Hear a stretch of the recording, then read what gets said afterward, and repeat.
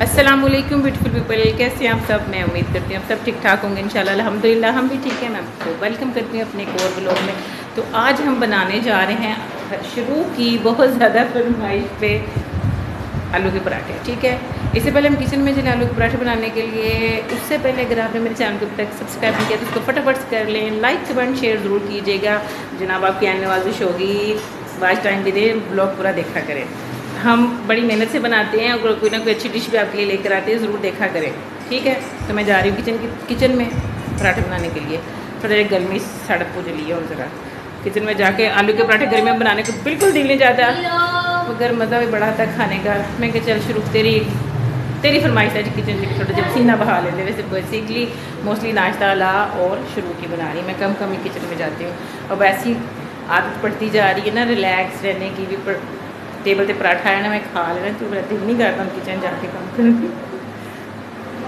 चल किचन आलू और अंडे मैंने कर लिए थे, सारे मैश कर लिए हैं बॉईल करके, और इसमें हम ये हाफ़ टी स्पून डालेंगे। अदरक कुटा हुआ, ठीक है? और, एक प्याज मीडियम साइज़ का कटे नाल मैंने साथ काट लिए, चार सब्ज मिर्चें, ठीक है? महलूल सारा मिक्स कर लिया। और नसी बना रहे हैं जी छोटी छोटी पेड़ियाँ। मुझे वो बिल्कुल बनाना नहीं आता, वो जो मोटा सा पेड़ा लेते हैं, उसके अंदर सारा महलूल डालते हैं और उसको गोल गोल करके। मैं तो जब भी पकाती हूँ, सारा जो जितनी ग्रेवी ना, इसके बेलन के ये, इसके साथ चिपक जाती है। मेरे से तो नहीं बनता।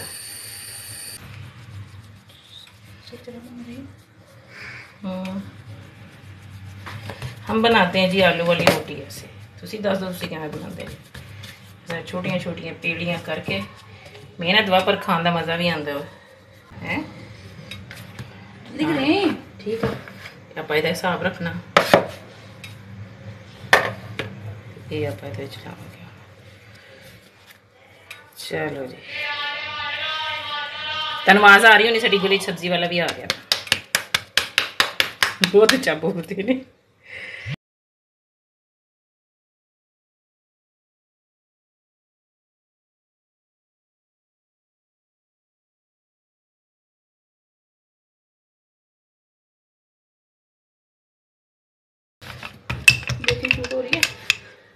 हाँ हो रही आ, लो जी, रोटी बेल ली हम साड़ी। इन्नी सोनी आप गोल गोल रोटी बेल लेनी हमें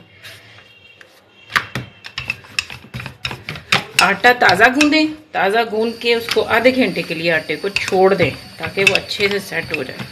फिर रोटी बहुत मज़ेदार बनती है।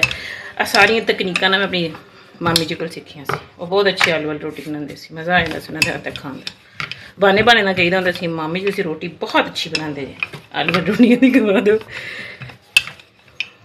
पर मैं उनके साथ कम पकाती थी।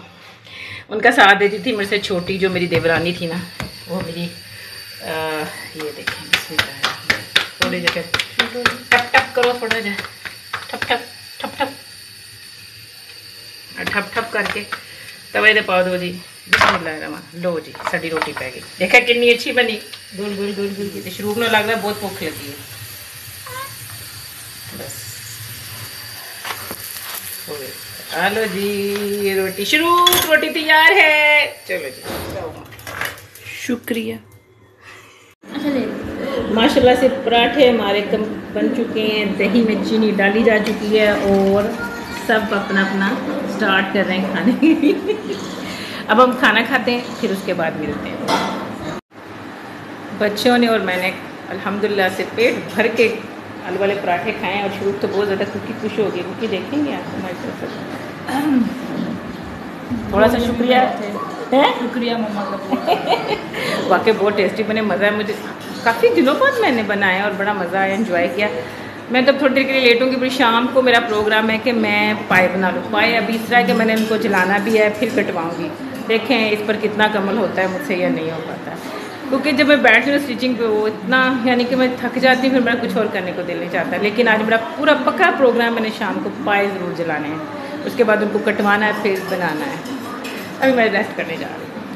बहुत ज़्यादा प्रोफेशनल लोग। क्या कर रहे हैं मम्मा? पाए भून रहे हैं। हमारे मामा को आइडिया था कि या तो वीट यूज़ कर लेते हैं या मर्दों वाला शेव दे दूध कर लेते हैं। मैंने तो कहा कि वो जो रेजर है ना उससे बाल सारे उतार दें। और फिर अरे प्रोफेशनलिज्म डाइज हेयर थोड़ी तेज होनी चाहिए। मुझे तेज नहीं है हमारी? हाँ मतलब ना होए आते ना फेर अच्छा चिमटा यही कहते हैं। ये शब्बो बहुत इन हमाक से हिस्सा लेने आ रही है पाइप बनाने में। शब्बो! देखते तुझे पाए कटवाने के बाद आप इनको अच्छी तरह से चेक करें। यहाँ पर अगर कहीं छोटे बहुत छोटा छोटा कभी बाल रहता है ना, उसको अच्छी तरह से छुरी से साफ़ करें, उसके बाद इसके हम यखनी बनाएँगे ये मैं चेक कर रही हूँ। ये देखें ना, ये थोड़े थोड़े बाल कहीं कहीं लगे हुए हैं छोटे छोटे से ये देखें इससे ज़्यादा।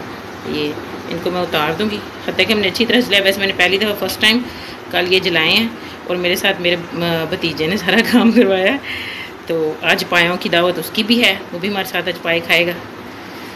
अच्छा चले वो मैंने आपको बताया था ना कि कल हमने पाए जला के उसको कटवा लिया था तो मेरा भतीजा वहाँ से सुबह से वेट में था कि आंटी ने मुझे नाश्ते पर बुलाने थे मैं हाल तक पाए पका दी, शाम हो गई। अब मैं बनाने लगी हूँ पाए ठीक है? अब लेना कुकर कुकर में पाने अपने पाए आ देखो कटे हुए पाए अपने, ठीक है? ये हमने सबसे पहले इन पायों की बनानी, तैयार करनी है यखनी। ये हमारे खड़े मसाले हैं, ठीक है? इसमें हमने डाल देने और उसकी क्वांटिटी में हम आप लिख कर आपको बता देंगे, क्या कुछ है। ठीक है? हाँ ये सारे इसमें चले गए। अब हम इसमें डाल देंगे खुला पानी पाना, कोई कंजूसी नहीं करनी। पानी, ठीक है? ताकि ये सारा ऊपर तक कवर हो जाए, ठीक है? इसके बाद इसमें हम डालेंगे थोड़ी सी आधा चम्मच हल्दी। और एक चम्मच नमक। इसको लगाएँगे, अब हम, इसका ढक्कन लगाते हैं और ओ देखिए ज़रा यखनी हमारी तैयार हो गई है। देखिए उसकी ना बोटी चेक कर लो। ये मैंने ना इसको पहले तेज़ आँच पे रखा और उसको मैंने इसके अंदर गैस बनने दी। उसके बाद फिर मैंने इसको तकरीबन डेढ़ घंटे के लिए ना हल्की आँच पे रख दिया था। ये देखिए कितना अच्छा पाया गल गया एकदम चुप के दिया ये देखिए कितना अच्छा पाया सारा गल चुका है। अब मैं इसका मसाला तैयार करती हूँ, ठीक है? इसको ना हमने पहले छान लेना है, ताकि जो हमने इसमें सूखा ये धनिया डाला था ना, ये निकल जाए। ये आप पाए निकाल लें, ठीक है इसमें। और इसके अंदर हमने वो डाला था ना, एक टीस्पून ये, क्या कहते हैं इसको साबुत धनिया, ये हम छान के निकाल लेंगे, ताकि एक मुँह में ना आए, ठीक है? ये देखें, ये अब हम इसमें छान लेंगे, ठीक है? ये सारा छन गया। चलो अब हम इसी कुकर में ना इसका मसाला तैयार कर लेते हैं। तीन मीडियम साइज़ के प्याज। ठीक है। और लहसुन अदरक।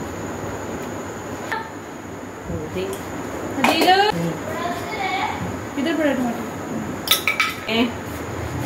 डेढ़ गिलास पानी डाल दिए अब इसमें वेट लगाती हूँ। ये पाँच मिनट बाद प्याज हमारा अच्छे से गल गया। मैंने इसमें चार सब्ज़ मिर्चें भी डाल दी थी ठीक है? ताकि वो साथ ही गल जाएँ। अब मैं इसमें डाल इसमें ऑयल क्योंकि ये पाए जो थे इसका अपना घी निकलता है। इसमें मैं चार चम्मच मज़ीद और डालूँगी उससे ज़्यादा ही डालूँगी ठीक है? ये डाल गया। अब हम इसको अच्छे से भून लेते हैं। इसकी बुनाई के दौरान भी बाकी अब हम इसमें खड़ा मसाला कोई नहीं डालेंगे क्योंकि वो हमने यखनी में सारे ही खड़े मसाले शामिल कर दिए थे। हाँ, चल ठीक है यखनी में। सूरज मिर्च एक चम्मच। एक चम्मच गरम मसाला। मिक्स कर देते हैं अच्छे से। ठीक है।